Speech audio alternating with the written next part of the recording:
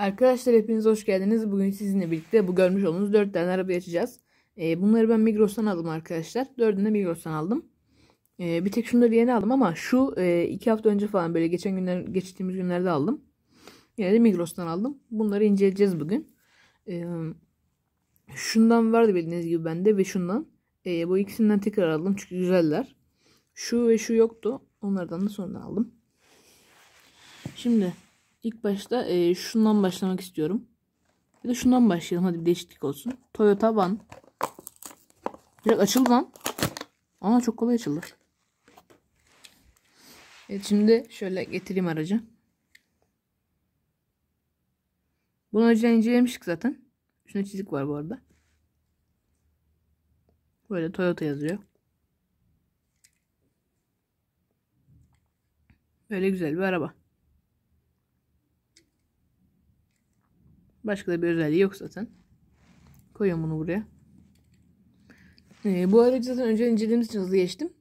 İsteyenler tekrar bakabilirler. Şimdi bu üçünü incelemedik zaten. Şimdi e, Volvo 850 Estate açıyorum. Bak bu uğraştırdı ama ya. Neyse şu aşağıdan açalım. Yandan açmak istiyorum da.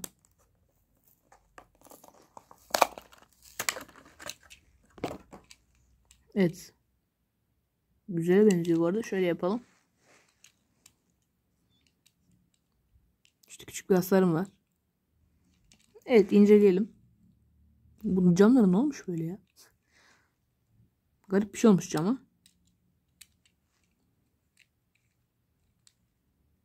Şöyle bir sileyim ben aracı çünkü üstünde bir lekeler var. Evet oldu. Güzel oldu. Şöyle aşağısı gri renkte. Ee, aşağısını göstereyim bu arada. Hmm, bazı bazı detaylar yapılmaya çalışılmış. Yani e, yapılabildiği kadarıyla. Araba çok yüksek olmadığı için e, fazla yapamamışlar. Arka tarafında e, tampondan başlayıp en yukarıya kadar giden farlarımız var. E, burada arkaya video koymak yerine şuraya plaka gibi yapmışlar. Bence bu ayrıntı bir garip olmuş yani. Video olsaymış daha iyi olurmuş. Ama orayı da yapamamışlar sanırım. Şöyle yapınca arkadan kolon çıkarmak zorunda kalıyor çünkü. Onu düşünerek yapmışlar. Şu, şunda yaşanmış mesela o. Bak arkadan kolon var. Mesela onu yapmamak için yapmış bunu yani. Şöyle önünü inceleyelim. Ön zaten kartaldan farksız. Böyle. Far detaylarını bu arada iyi yapmışlar. Şöyle göstereyim. Şimdi kapatsak daha iyi gözükür mü farlar? Ha, aynen. Şöyle yan tarafında yine e, simsiyah bir araba bu. Böyle üstüne sunroofu var. Böyle güzel bir model. Şimdi tekrar ışığımızı açalım. Böyle kısa bir video olacak. Fa fazla uzun olmayacak. Çünkü sıkıcı olduğunu fark ettim. Öyle uzun uzun incelediğim videolarda. Şu an iki tane aracımızı açtık. Şöyle koyayım. Şimdi Mazda RX-3'ümüzü açıyoruz. Bunu yukarıdan açacağım ayrı olsun. Yanlış bir şey mi de düşündüm, düşündüm acaba? Neyse şuradan açalım. Hı. Evet açtık. Lan ne oldu? Evet aracımızı incelemeye başlayalım. Bu araç bu arada bence Japon arabalarının e, güzel olanlarından. Nasıl bir cümleydi o? Böyle. Tekerlerinde sarı e, şöyle halkalar var.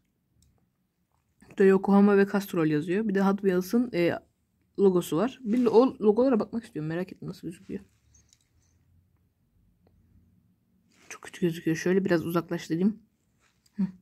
Gördüğünüz gibi Hot Wheels'ın e, renkli logosunu yapmışlar. Geldi arabanın renginde oluyordu bu logo. Bu sefer kırmızı ve sarıdan yapmışlar. Döndü mü tekerini? Ha döndürüyorum. Arka tarafında hiçbir şey yok zaten. Puding. Biraz bir detay yapsaymış daha iyiymiş. Tepede böyle yeşil ve sarının birleşimi bir çizgiler var. Şu tarafta da aynı şeyler yazıyor. Ön tarafımızda böyle e, yine far detayları hiçbir şey yok. Kakaolu puding. Burada ön tarafta bir tampon var. Bu trenleri bu önde şey oluyor. Vut vut. Ona benziyor. Şöyle altı da bu şekilde. Ha bu oha ne oluyor lan? Ha şeyi kapatmamız lazım. Şunu merak edenler olabilir. Yani e, bilmeyenler olabilir. Şu e, işaret Şu böyle taklı şey işareti. Bu piste gitmeye uygundur anlamında geliyor arkadaşlar. Yani pisti daha daha iyi gider bu diğerlerine göre diyor. Böyle Made in Malezya falan yazıyor. Böyle güzel bir model. Şöyle getirsek mi kutuları? Gerçi diğerlerini yırttık da neyse. Neyse bunu koy, koyalım aşağı arkaya. Şimdi de açacağımız aracın ismi şöyle göstereyim. Automobili Pininfarina Battista. Çok tuhaf bir isim var gerçekten. Ama güzel yani bir araba. Ferrari'ye benziyor biraz. Bunu da hemen açalım.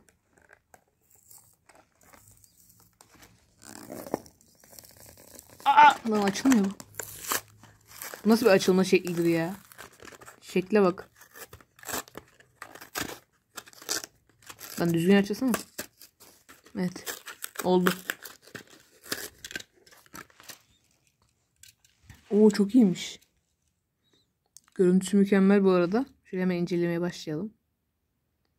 Şöyle baya e, yeni nesil bir araba. Zaten yeni nesil bir araba da neyse. Ön tarafı bu arada şeye benziyor. Bak McLaren ve e, şeyin karışımı. Ferrari'nin karışımı bir şeklinde bir yönü var. Farları McLaren'a benzettim. E, şöyle şöyle görünüşü şey Ferrari'ye benziyor. Şöyle bakınca McLaren oluyor. Garip bir araba yani. Tekerleri burada çok değişik bir tasarım. Böyle garip bir şekli var böyle diken dikenli. E, boyaları burada hafiften şey simli yapmışlar. Çok belli olmuyor. Şöyle belli olur mu? Bir hafiften simli yapmışlar. Çok belli olmuyor kamerada.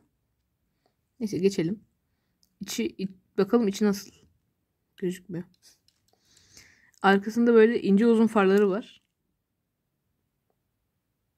Odaklar mısın? Parmağım odaklama oraya odaklan.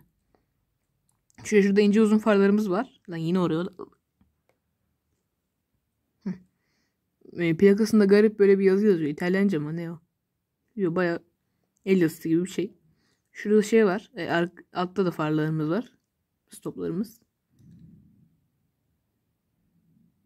Şöyle kapatayım da göstereyim arkasını daha iyi olur. Ha. Böyle güzel bir model. Altını da göstereyim. Böyle bir altı var. Dümdüz hiçbir şey yok.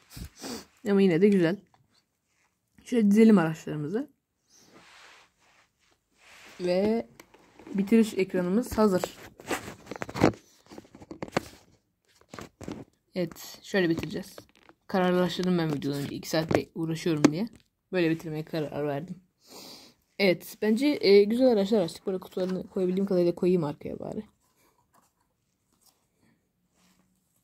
Evet bu kadar oluyor. Güzel araçlar açtık. Ee, en sevdiğim bu bu arada. Ondan sonra bu, ondan sonra bu, ondan sonra da bu. Ee, ama hepsi de çok güzel tabi. Şöyle e, Volvo aynı kartal zaten. Yorumum bu. Bu e, McLaren ve Ferrari karışımı. Bu Toyota Silica'nın aynısı zaten. Bu da Okus servis arkadaşlar. Yorumum bu bunlara. Videomuzu yavaştan bitirelim. E, puanlayabilirsiniz bu arada yorumlarda araçları. Eğer açık olursa. O zaman bugünlük bizden bu kadar olsun. Bir sonraki videomuzda görüşmek üzere. Hoşçakalın. Arabalı kalın. Böyle bir şey denemeseydim keşke.